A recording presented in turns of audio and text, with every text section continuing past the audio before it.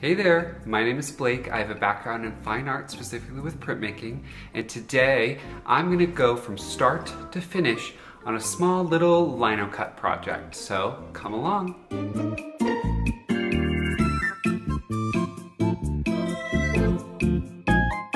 If you've never used linoleum to print before, this will be a perfect introductory video to get you started on a really cool and very versatile medium.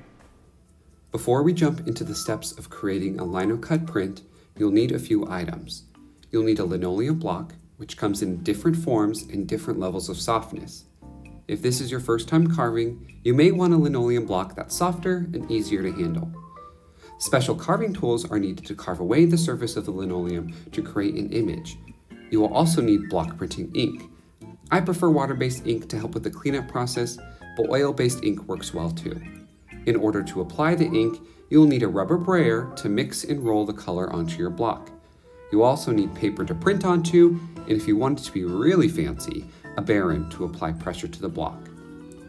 The first step in any lino cut project begins with sketching and idea generation.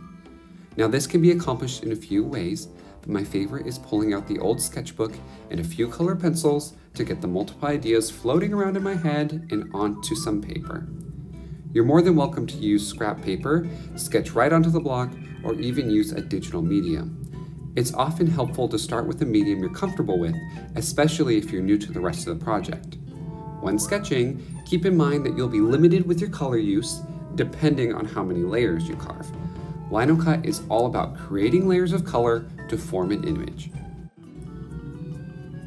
After you've finished sketching, you'll need to choose which image you want to transfer to the block. I create a more precise version of the sketch before I transfer to the block. This helps me define the shapes I need to cut out, and I manually draw the image onto the block. But you could use tracing paper or graphite rubbing. Anything I draw now be reversed when I print it, which is important to keep in mind if you're using text. After the image is transferred, it's time to carve. The carving tool I use has multiple sizes of V-shaped blades. Depending on the area you need to carve out, you'll adjust the size accordingly.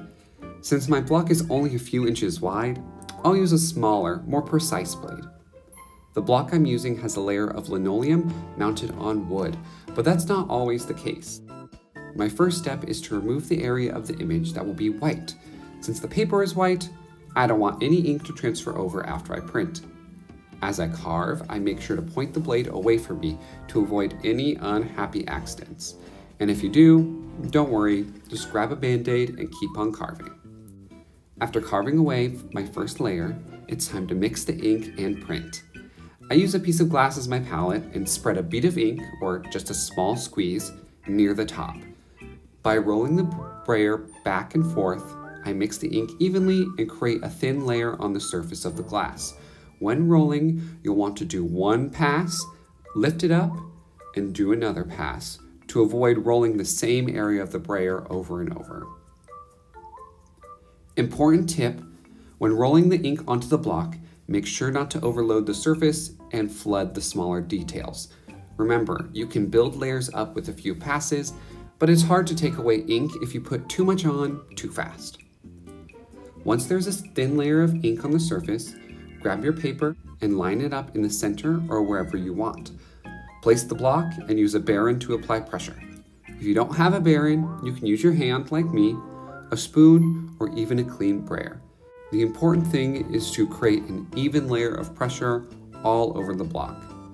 Printmaking is all about trial and error, so this first pass may not turn out perfect. I needed more ink on the block, so I will add more the second time. Rinse and repeat the printing steps until you finish all of your paper. So the first layer is complete. However, I'm going to add a second layer with more details in a darker color. Since the ink covered my original pencil lines, I will need to redraw the image before I can carve again. As you get more details, it's important to go slow and steady. For the next layer, I'm carving away all the areas that I want to stay yellow, so when I apply the ink, the red will show in certain places. Okay, back to printing now. Some lino cut projects have many layers, but mine only has two. No matter the amount of details or layers, be conscious of how the color applies to the paper. If you're using transparent ink, the layers can end up mixing the colors on the paper, giving you more options for details. I tend to print light to dark, but this is your project, so experiment and have fun. Now that you have a beautiful set of prints, it's time to sign and edition. There are a few rules with printmaking that you can follow when signing your art, but again, do what works best for you. The standard is placing your signature in the bottom right corner of the paper or just under the bottom right corner of the print itself. On the left side, you will need to edition the print. Printmaking produces multiple copies of the exact same image, and this is the beauty of printmaking, so you can share and reproduce beautiful artwork for everyone. An edition is a set of identical prints and is numbered in the bottom left corner. I have six decent prints, so I will be numbering my first one with one out of six, second with two out of six, and so on. For prints you don't want to include in the edition, you can label with an AP or artist proof. Thanks for watching everyone. I had so much fun making this tiny little print. I am a sucker for tiny houses, so doing something small, quick, and easy, an afternoon project was perfect for me. Like I said earlier, Linocut is a very versatile medium and you can do super small things or you can do super big things.